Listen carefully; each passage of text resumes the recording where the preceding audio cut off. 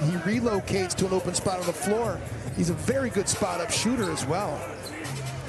I just like the way he plays. Saric changes direction, Nice. gets one to seen that yet. As a like, you gotta love that thing. What a pass by oh, oh, Saric. Oh, Wrap. Saric running the floor and it getting paid as a result.